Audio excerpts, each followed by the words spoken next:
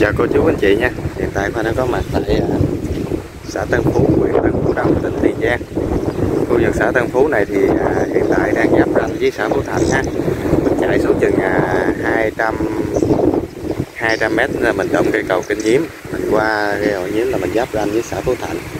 Thì đây là xã Tân Phú, huyện Tân Phú Đông, tỉnh Tiền Giang. Thì khoa sẽ giới thiệu cho quý anh chị một cái miếng đất cực kỳ đẹp ha.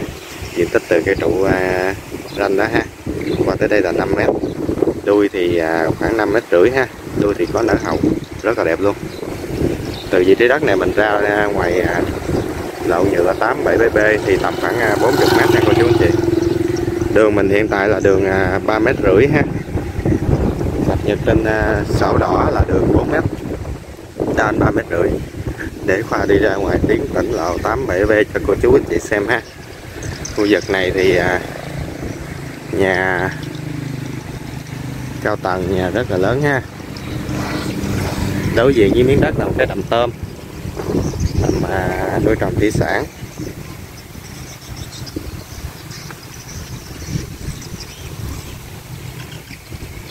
Rồi và ra tới ngoài à, đầu đường à, khu vực tỉnh lộ 87B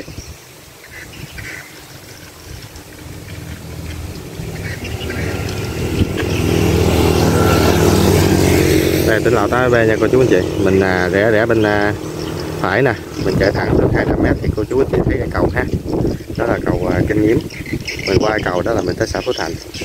Còn mình rẽ bên tay trái là mình về à, ủy ban nhân dân xã tân phú. Về chợ tân phú. Thì à, từ đây mình qua cầu kinh nhiếm là mình đi xuống chợ phú thạnh tầm khoảng à, một km nữa đụng chợ phú thạnh ha.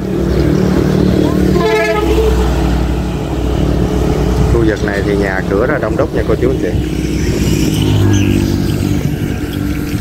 Rồi, thửa đất và sẽ giới thiệu cho quý anh chị, đó là diện, là ngang năm, dài 30 thổ cư là có sẵn 100 mét vuông, sổ hồng riêng sẵn. Nếu quý anh chị muốn thì công chứng trong ngày vẫn được nha.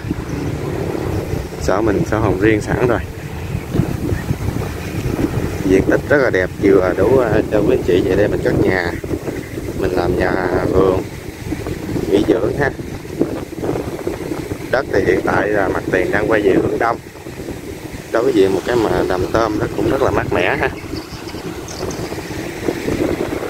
Tuyến đường này là tuyến đường lộ thông luôn ha. Thẳng vô lộ D, thông ngã ra tỉnh lộ 80B cũng được nha, cô chú anh chị. Rồi, qua xin báo giá cho cô chú anh chị là chỉ 340 triệu một nền ha. Giá này là chủ ngập dữ lắm rồi.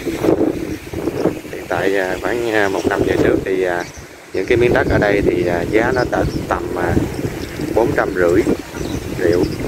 Thì à, so với thị trường mặt bằng chung năm nay thì giá nó đã giảm sụt xuống ha. Bây giờ chỉ bán cho cô chú, anh chị rất là rẻ luôn.